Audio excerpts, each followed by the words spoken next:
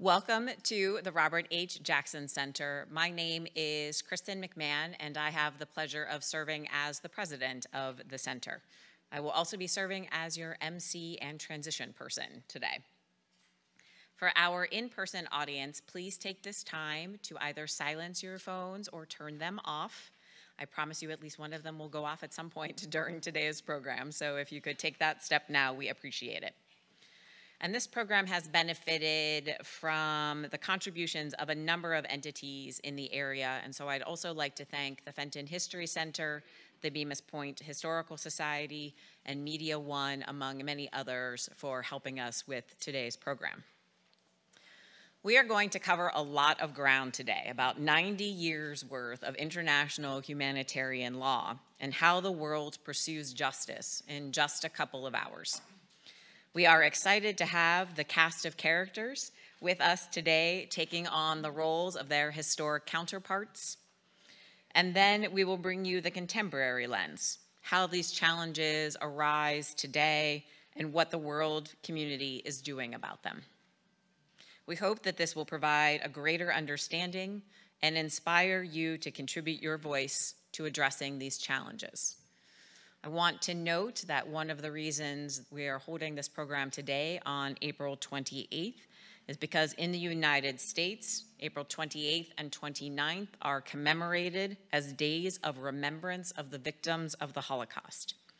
In the legislation, a joint resolution was signed in 1978, so about 45 years ago, and it commemorates the day that US troops liberated Dachau and some of the satellite camps around it. Let me start off today's program by introducing Greg Peterson of Counsel for Phillips Lytle and co-founder of the Center to provide some background for the historical piece, which we will start with today. Greg?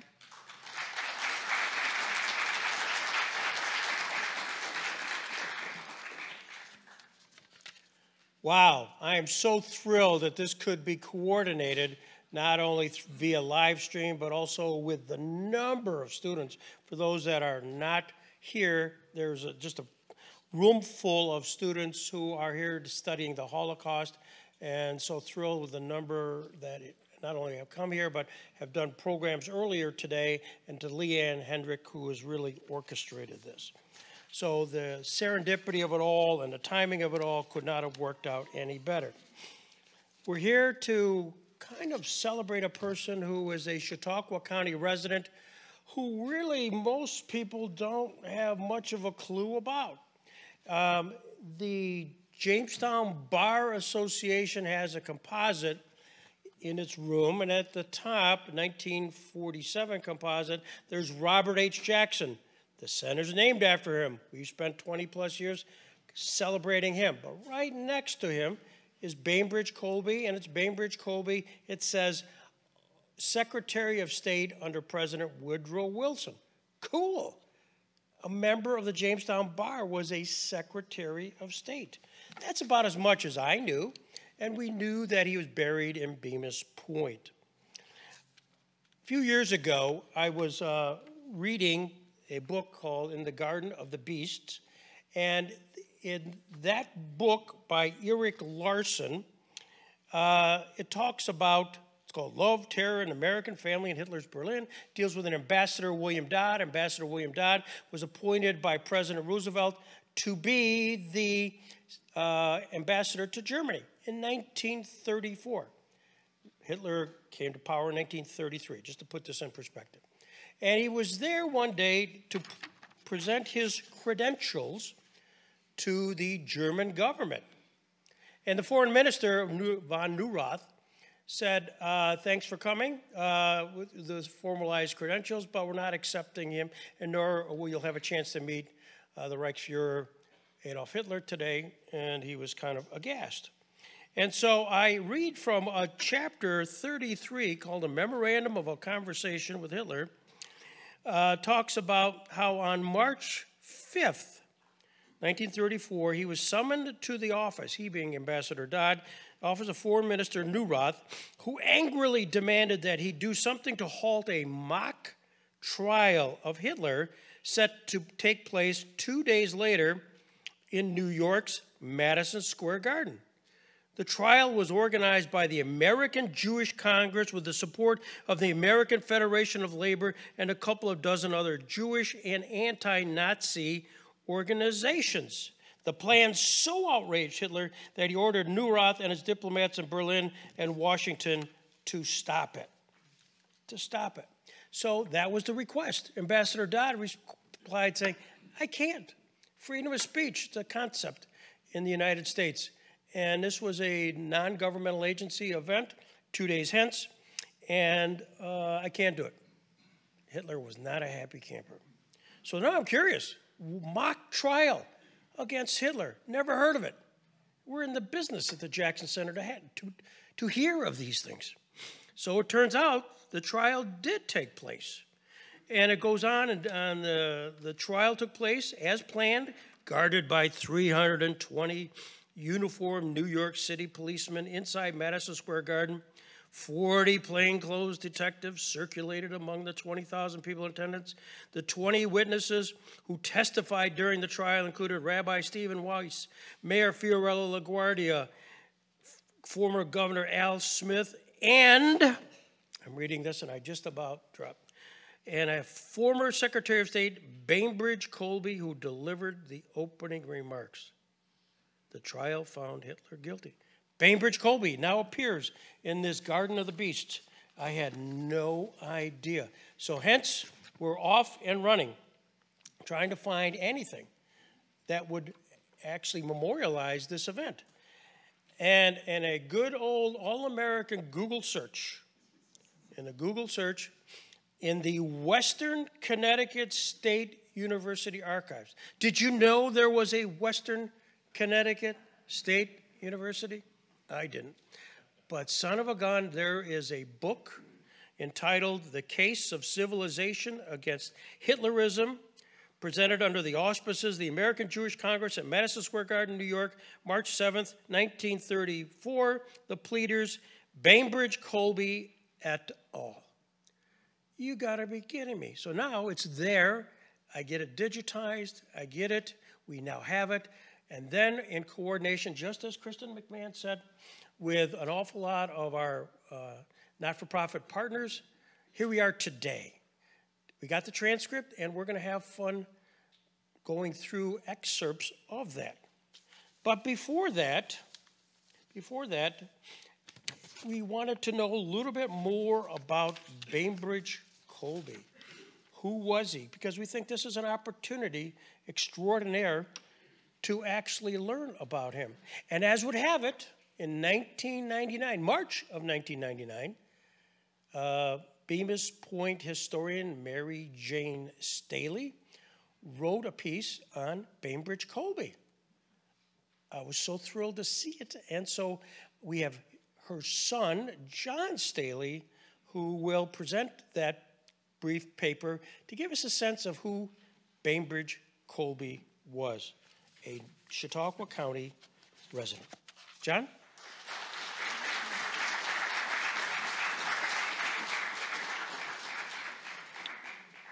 Thank you, Greg.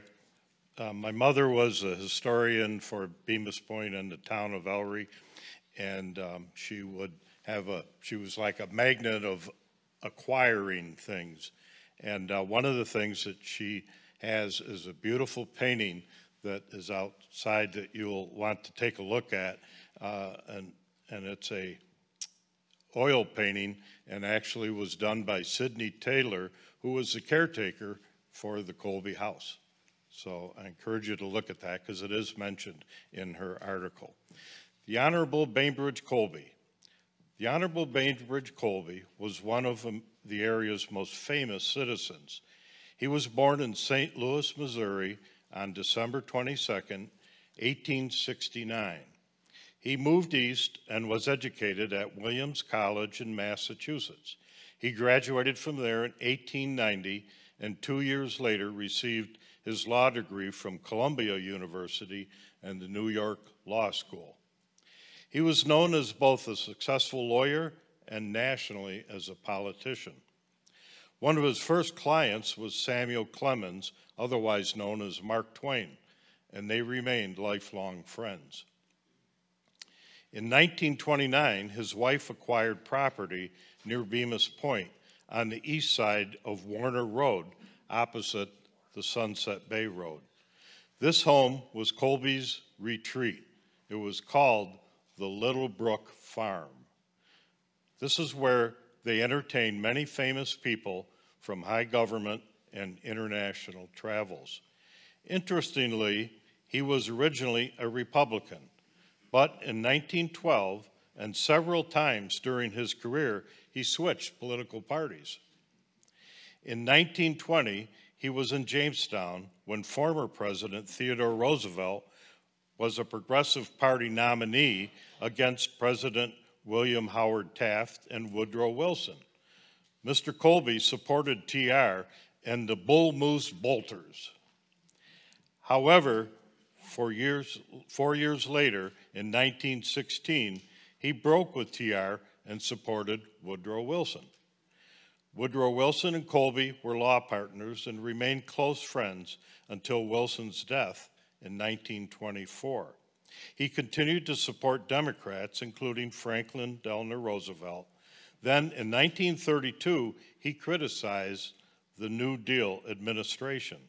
And in 1936, he supported unsuccessful Republican candidate Governor Alfred Landon of uh, Kansas.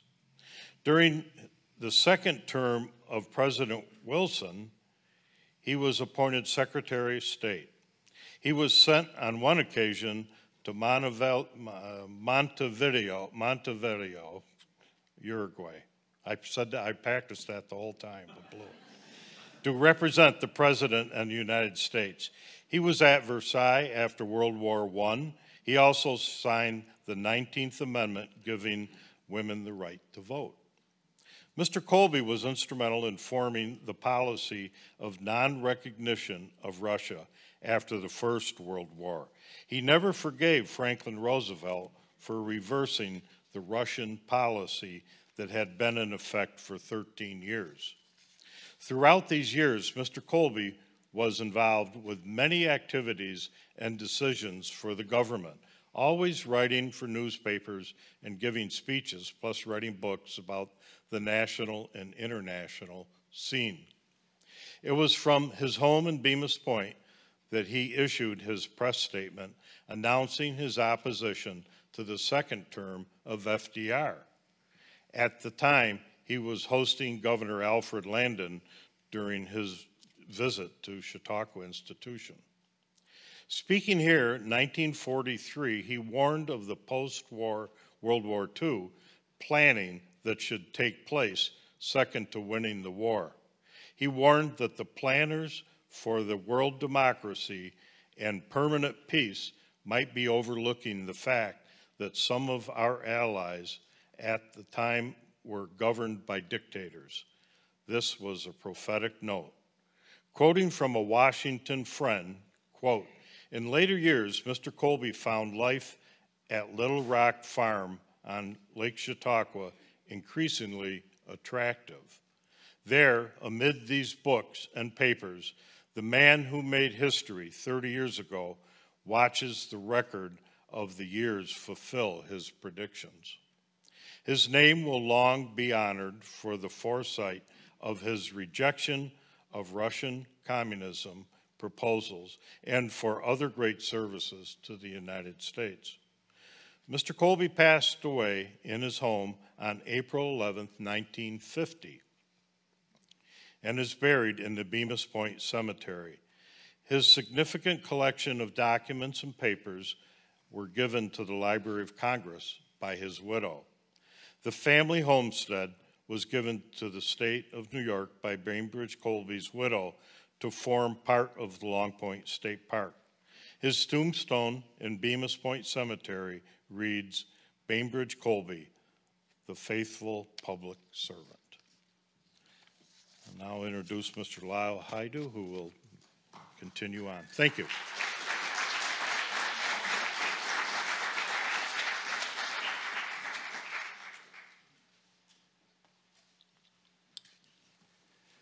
When football players gather on the field, they scrimmage, When boxers meet in the gym, they spar.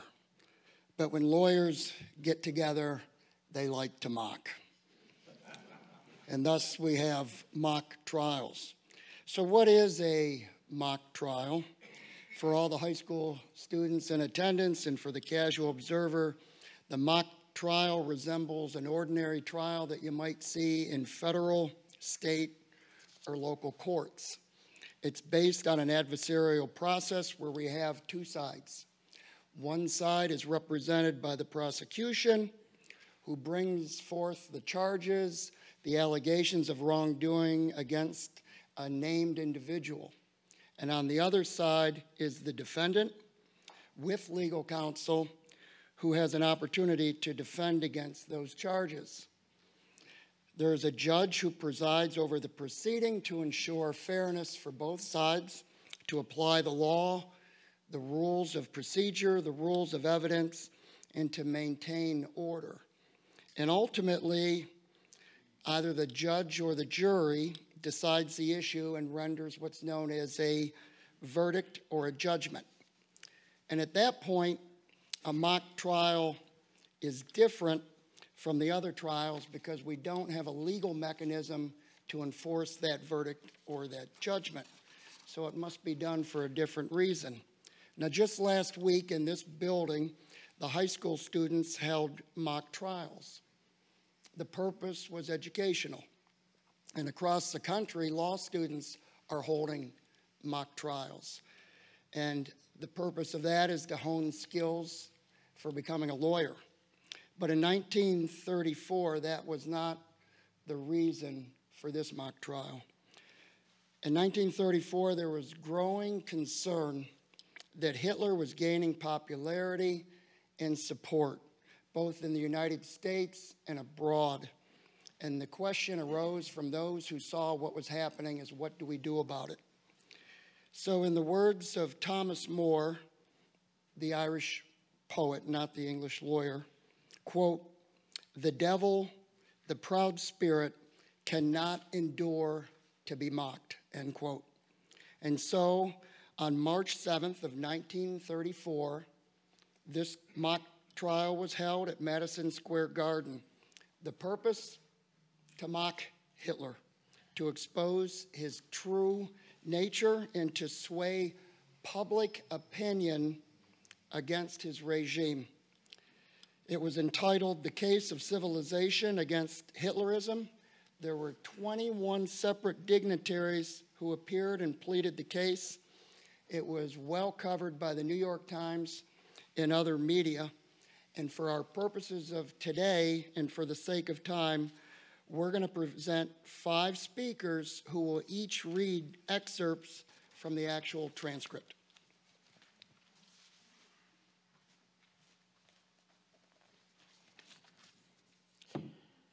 At 8:30 PM, before a standing room only audience of 20,000, an American Legion bugler blew taps, and the audience rose for a moment of silence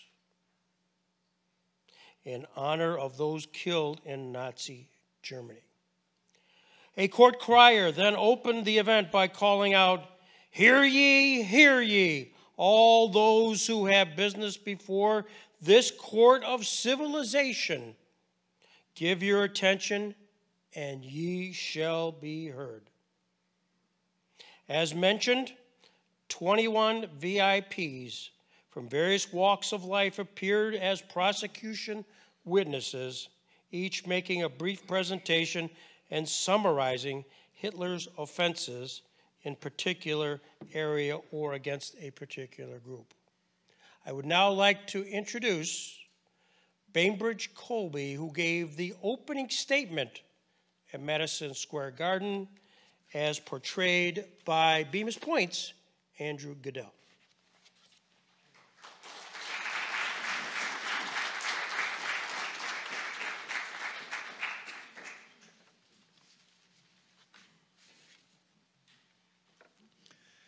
We have come together tonight in the greatest place of assembly to be found in our country. The thousands who crowd this huge auditorium make up a mighty host. But they are only a small fraction of the millions whose thoughts are centered here and who wait with eagerness every word that will be spoken. America is speaking tonight, not only for herself, but for civilization and human brotherhood. We are piously met. We bow reverently before our Lord and Master, who hath commanded us that we love our neighbors as ourselves. And this love he has defined as feeling for our fellow man that works no injury. A great oppression has descended upon mankind, a grievous affront to the world's sense of justice and humanity. It has been committed by the infatuated usurpers of public power in Germany. The wanton and cruel injuries inflicted upon hundreds of thousands of Jews solely because of their Jewish blood have shocked the world. They cry aloud for regress. They have planted hostility to the present regime in Germany in every quarter of the world where no hostility has been felt before. The love of justice, which is the highest attribute of man, has been stirred to its depths by the unending story of outrage and brutality, which, despite all the efforts of suppression, steadily flows out of Germany.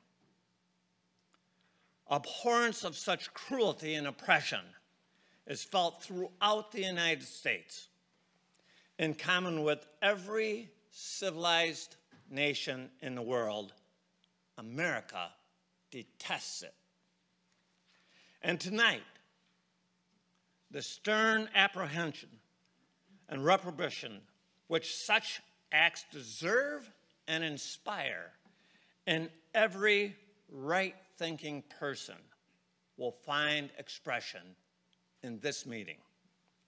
You will hear spokesmen of the church, of the state, and the bar. You will be addressed by representatives of civic and social bodies, of national membership, and widest influence. The great body of our nation's work, workers have sent their chosen leaders to speak to us. Our institutions of learning will be heard. Never has there been assembled upon a public platform such a broadly representative group of speakers. Every party, every creed, every section of public opinion is authoritatively presented at this hour. The truth will be uttered by men who love it and serve it. And the truth is mighty and will prevail. And to lead us in our presentation, I want to welcome Senator Millard Tydings, who is portrayed by our own Senator George Borrello.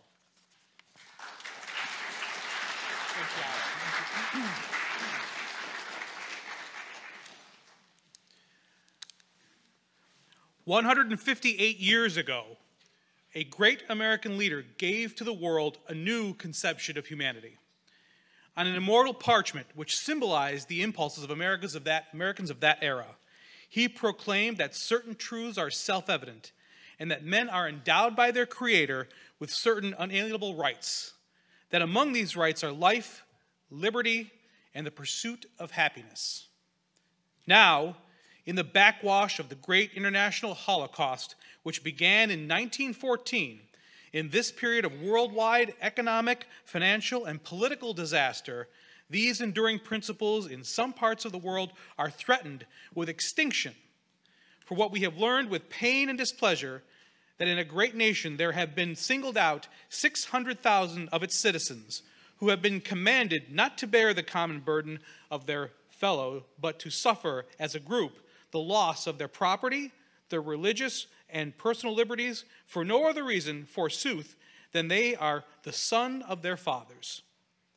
We are met here tonight not to attempt a cure,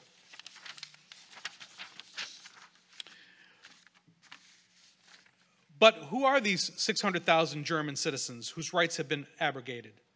Let us see. Official statistics tell us that 17% of the entire Jewish population of Germany served that country in the Great War. That one out of every five men, women, and children of Jewish blood was a soldier in the German army. These figures further state that of this group, 30,000 were decorated for bravery, 20,000 were cited for distinguished service, 2,000 of them rose to the rank of officer while serving under the German colors. These and their families are now outcasts. They were asked to give life itself for their country and its greatest hour of need. This they gave. Having given, they are now denied the equal privileges of peace. Those who attend this gathering symbolize the thoughts and impulses of millions of our countrymen who are absent in the body but present in spirit. They, no less, we, see the inordinate cruelty, the injustice, the intolerance of this persecution of the Jews. They, like ourselves, seek to raise before the eyes of the world the torch of tolerance to guide a world already sick from excesses, the greed, and the blindness of mankind. Finally, we affirm our intention to continue to keep this crime pilloried before all the world in the fervent hope that in the councils of present German government, a calmer view, a more civilized action may evolve, and that the 600,000 persecuted Jews beyond the sea may regain for themselves and their posterity the inalienable rights to life, to liberty, and to the pursuit of happiness. And now it's my honor to introduce the mayor of the city of New York, the Honorable Fiorello, LaGuardia, uh, who is portrayed today by the Honorable Mayor of Jamestown, Eddie Sundquist.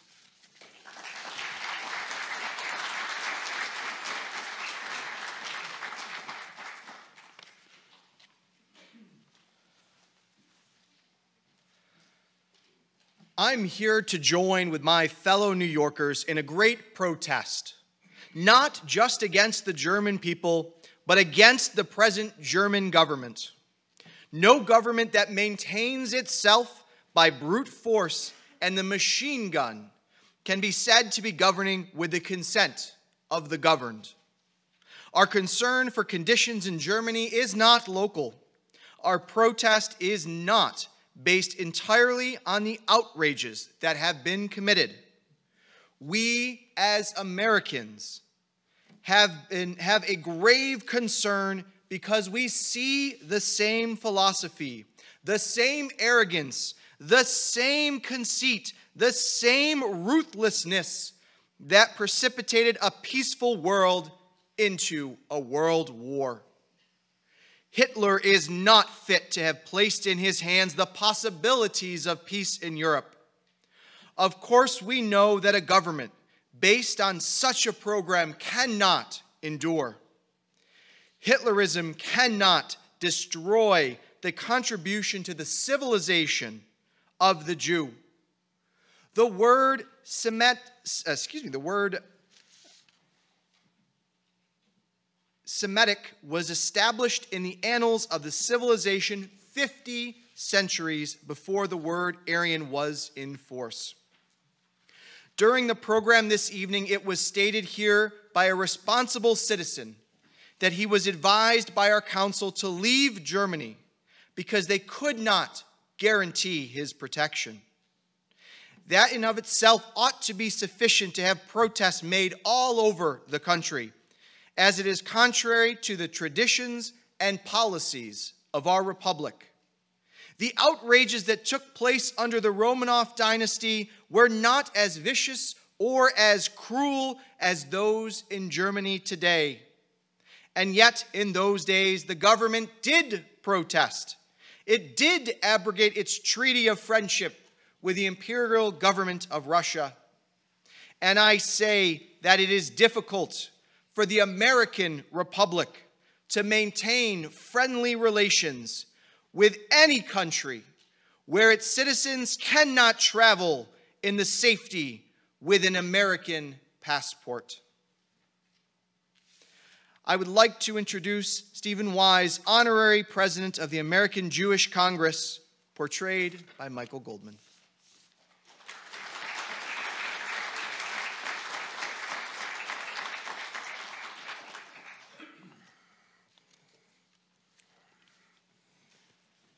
One year ago, the Jews of New York met in this hall to protest against the first decrees and deeds of the Hitler regime.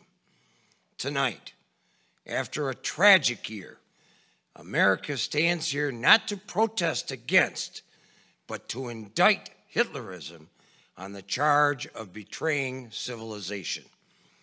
Hitlerism began its dread regime one year ago with hurt and wrong to the Jew.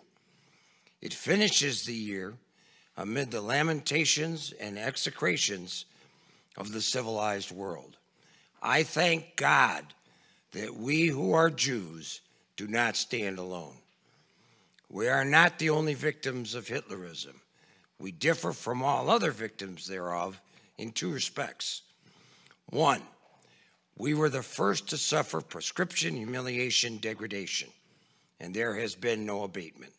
Two, all that Hitlerism has devised and threatened against other groups and parties it has ruthlessly executed and perpetrated against the Jewish people.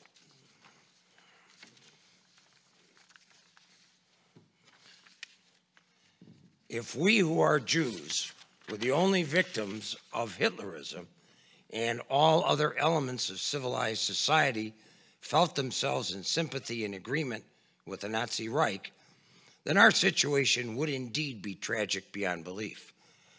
But in this hour, we, the Jews, find ourselves together with all groups and factors within civilization, including the great Catholic Church and the Protestant churches of the land. Hitlerism being at one and the same time the denial of Jesus and the negation of every type and manner of Christianity in favor of an ancient pagan cult of hate. One year ago, save for the voices of individuals, we stood alone. Tonight, after one year, we no longer stand alone. For within the year, Hitlerism has assaulted all of civilization. And tonight, we Jews are no longer alone, who are surrounded and upheld by all the forces of civilization. One year ago, we were nearly shattered by the dread advent of the powers of Hitlerism. Tonight, despite the year of unspeakable wrong and immeasurable wrongs, we are sustained by the comradeship of civilization. Not without hope, we suffer and we mourn. We rest our hope in civilization, which speaks to us tonight in the ancient and divine accents of, Fear not, Jacob, my servant. We are the prisoners of hope and the children of hope. Our standard and our song being, Our hope shall not perish. We join with civilization in warning the Hitler land that many, many take a farson. Let it not come to pass that Germany, once proud and mighty, perish because the evil of its leadership and blindness of its following. Not without hope, we suffer and we mourn. For civilization has lifted up its sacred sword to shield us and itself. Civilization cries tonight Hitler's Huns are at the gates, they shall not pass. Whatever betide, we shall not fear, for we share the fate and the struggle of civilization. For centuries and centuries, our fathers sang, Behold, the guardian of Israel doth neither sleep nor slumber. We say tonight, Behold, the guardians and defenders of civilization will not be silent nor yet afraid. My honor to introduce uh, John Haynes Holmes, portrayed by the Honorable John Ward, to read the judgment.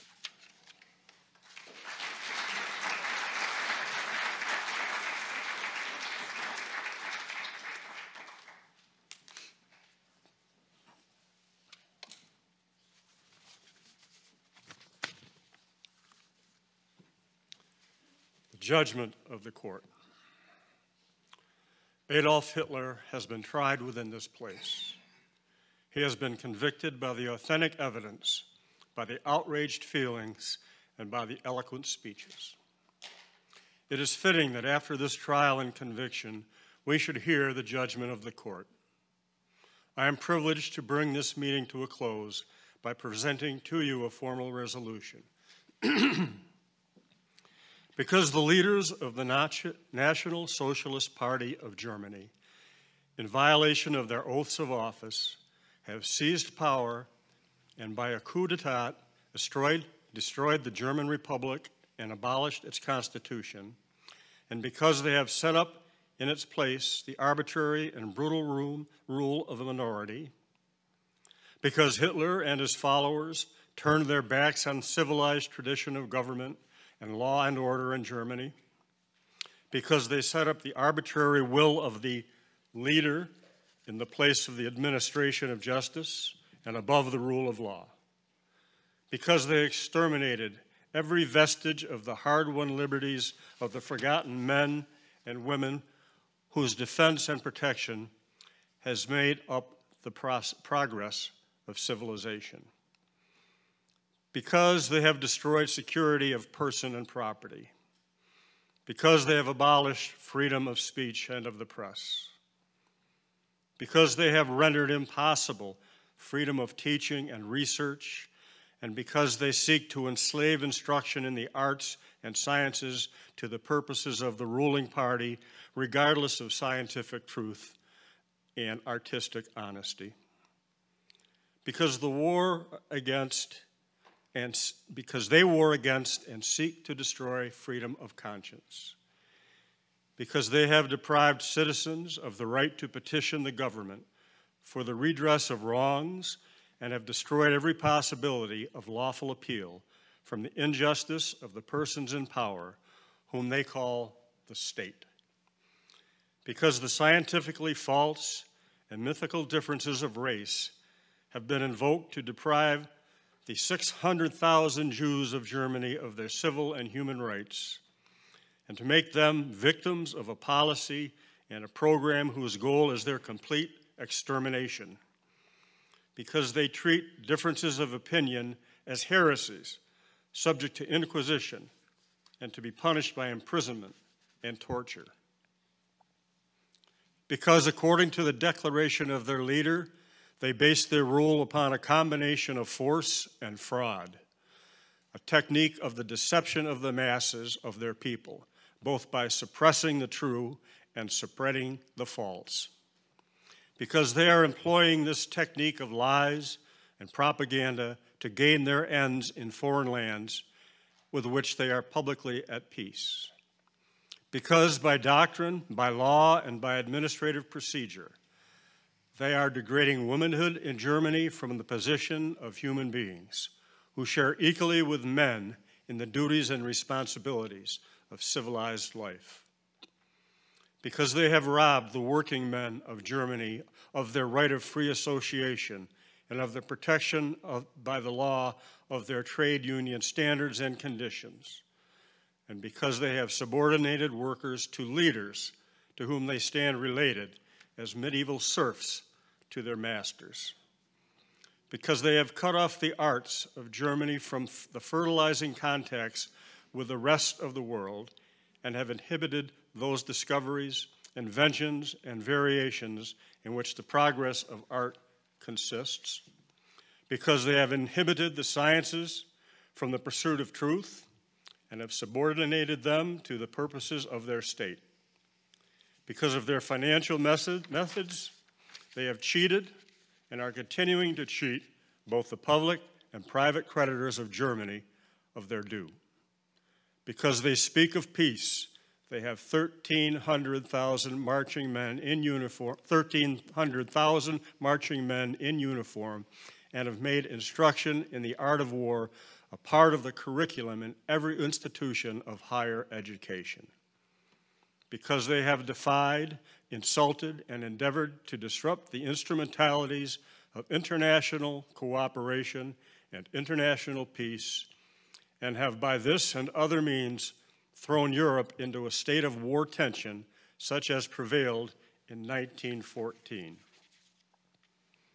Therefore, we, the citizens of the United States of America, assembled together in Madison Square Garden in the city of New York on Wednesday, March 7, 1934, upon the first anniversary of the Hitlerite coup d'etat, solemnly declare that the National Socialist Government of Germany has turned its face against historic, historic progress and the positive blessings and achievements of modern civilization.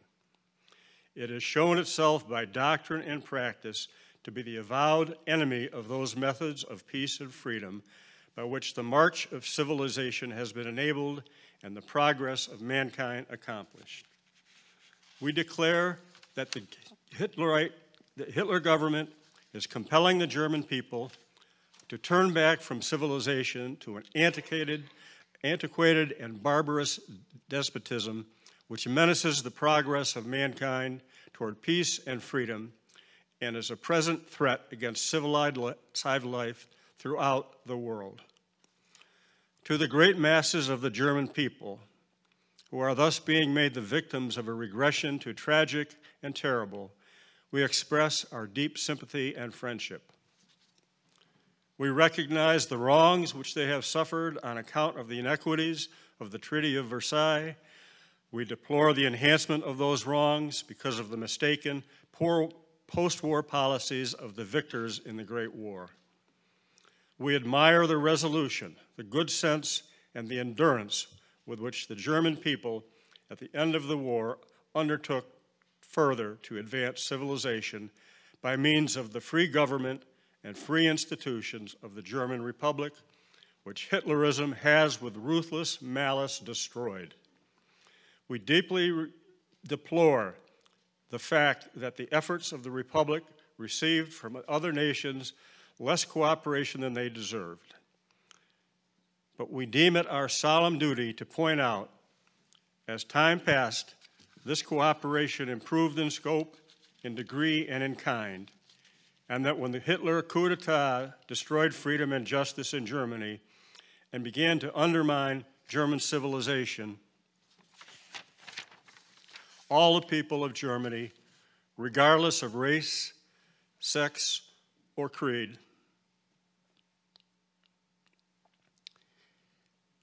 may restore for themselves and for their children each and every one of those rights and duties, those opportunities for life, liberty, and the pursuit of happiness in which just government at home consists.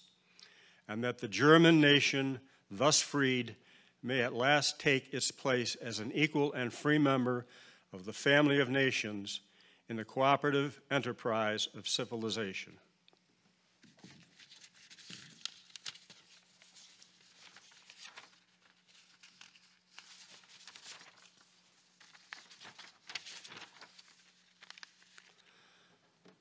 Until that day arrives, the German government stands convicted by its own acts of crime against civilization. At this time, this proceeding stands in adjournment.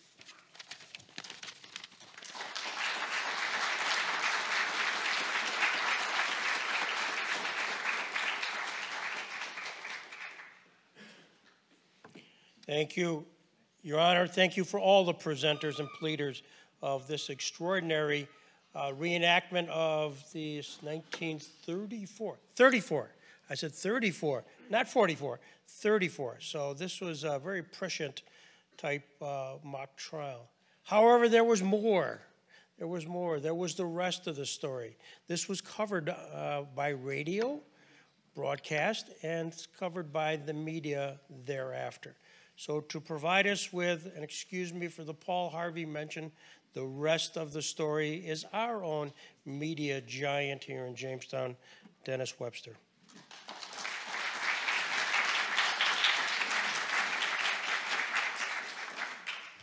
Good afternoon. Thank you. Allow me the opportunity to read some news dispatches that I have written to encapsulate certain events at certain places in time. New York City, March 8, 1934. Some 15,000 people were still in their seats at Madison Square Garden at 12:15 this morning when the verdict was read in the case of civilization against Hitler. From the opening remarks by former Secretary of State Bainbridge Colby to the final verdict delivered by John Haynes Holmes, senior minister of the Community Church, the outcome of this mock trial was never in doubt. Hitlerism was decried, convicted as a crime against civilization. The atrocities attended to it were recounted in detail as 21 prominent speakers took to the stage. Anti Semitism, degradation of women, cruel violence inflicted on lawfully abiding citizens, removal of academic freedom, repression of churches, among others.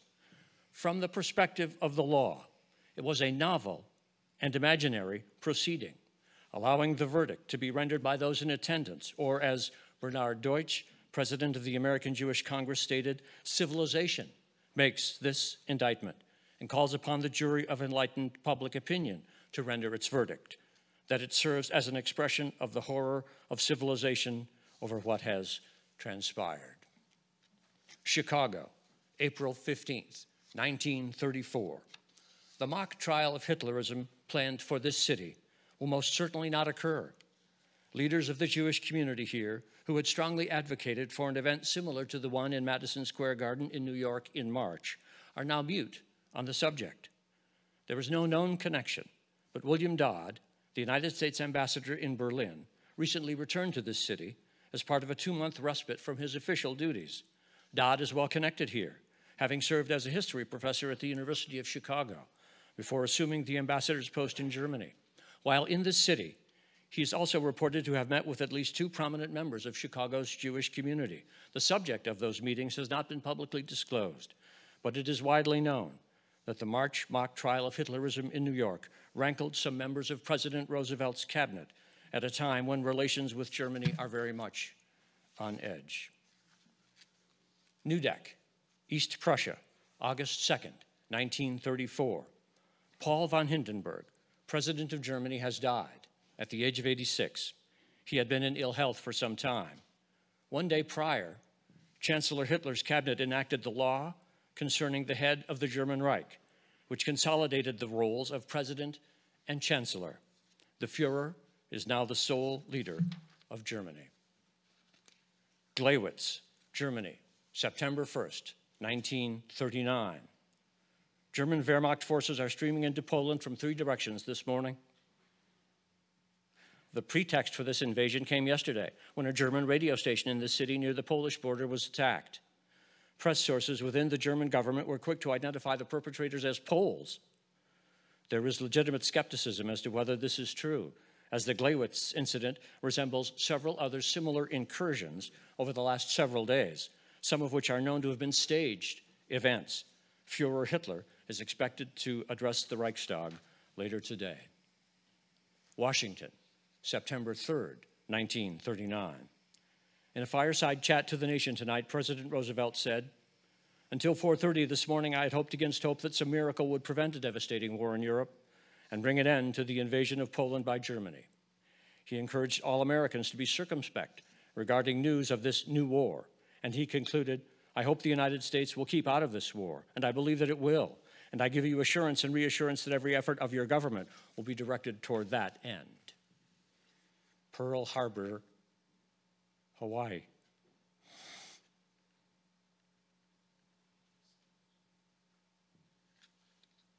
December 7, 1941, Japanese aircraft launched a massive attack on the U.S. naval base here today. Preliminary estimates put the number of casualties at over 2,000. 12 ships were sunk or beached, 160 aircraft destroyed, a similar number damaged. December 11th, 1941, Washington, United States Congress today declared war on Germany in the same manner it did three years ago in declaring war against Japan. Franklin Roosevelt, the president who has frequently said, I hate war, requested this declaration. In his message to the Congress, he wrote, The forces endeavoring to enslave the entire world are now moving toward this hemisphere. Never before has there been a greater challenge to life, liberty, and civilization. New York City, September 2nd, 1945. Throngs of people swarmed into the streets of Times Square and throughout the city today following Japan's signing of surrender papers aboard the USS Missouri in Tokyo. The celebrations here and across the United States were even more jubilant than May 8th, when victory in Europe was declared. Over 400,000 Americans lost their lives in service to the nation in the four years of war. Nuremberg, Germany, November 21st, 1945. At the Palace of Justice in this city today, Robert H. Jackson Chief of Counsel for the United States made his opening statement to the International Military Tribunal, charged with trying powerful Nazi leaders accused of heinous crimes. He said the tribunal, while novel and experimental, is not the product of abstract speculations. Near the end of his lengthy remarks, he added, the real complaining party at your bar is civilization. Bemus Point, New York, April 12, 1950. Former Secretary of State Bainbridge Colby died at his home in this village last night. Colby directed the State Department during the final two years of Woodrow Wilson's presidency. Best known for his 1920 repudiation of the Lenin Trotsky regime in Russia, he reemerged on the public stage in 1934 as presiding officer of the Madison Square Garden mock trial of Adolf Hitler, known as the case of civilization against Hitler. Colby had been battling the consequences of pneumonia for two years. Jamestown, New York, January 17, 2001. Local attorney Greg Peterson convened a meeting today in the theater of the Consistory Building in downtown Jamestown. There he received commitments from two prominent citizens, Carl Kappa and Betty Lene, for $500,000 each to acquire a facility and develop a center to enshrine the legacy of Robert H. Jackson, the Jamestown area native whose work at Nuremberg set a framework for the prosecution of war crimes on the international level for the first time in civilization. It is to Mr. Peterson that we return the program.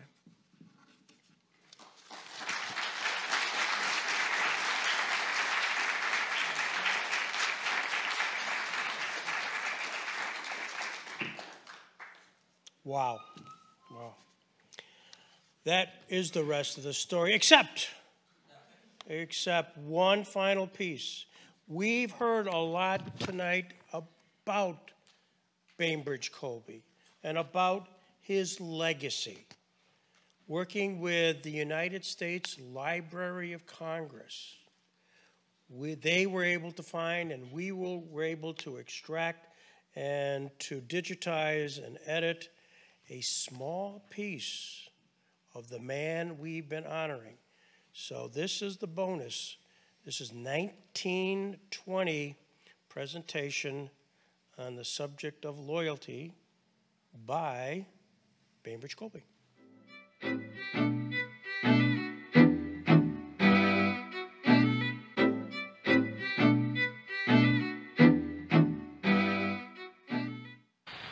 It is important that we should constantly keep before us the duty of inculcating in the minds of our citizens from overseas the true meaning and significance of America and the high duty that rests upon every generation to sustain our blessed institution and to transmit them to posterity strengthened and unimpaired.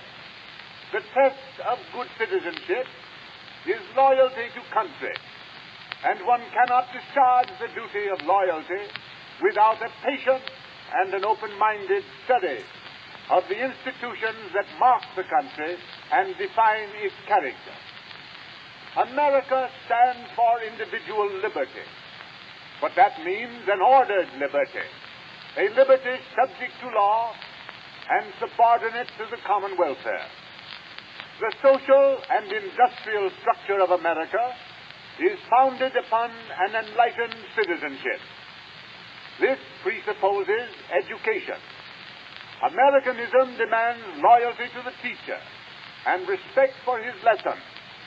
I am deeply concerned with the diminution of the teaching strength of the country as a result of the disproportionately low salaries that are paid to teachers throughout the country.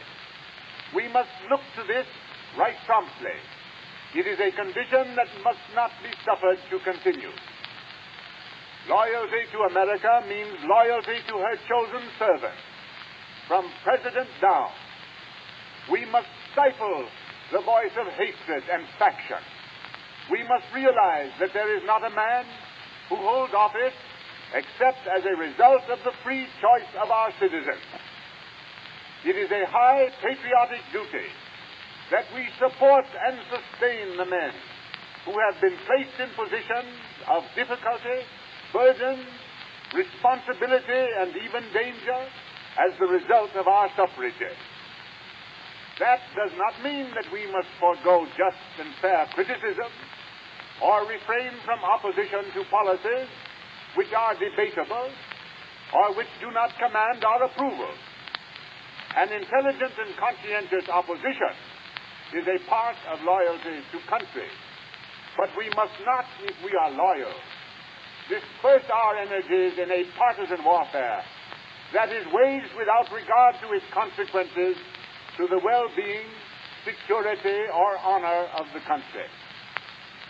We must be loyal to the form of our government. Under it, we have grown great in numbers, wealth, and national influence. We must be loyal to the words that have come down to us from the past, bequeathed by Americans who have lived great lives in the service of America.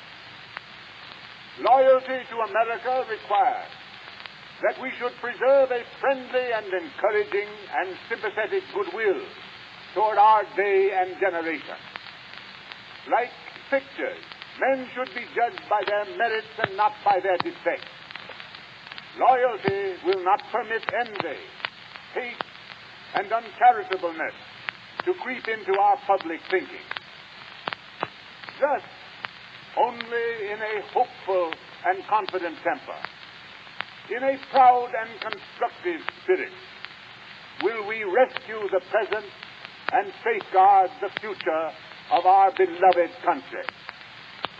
The times call loudly to each of us for loyalty. Loyalty of purpose, loyalty of thought, loyalty of effort, and the loyalty of patience.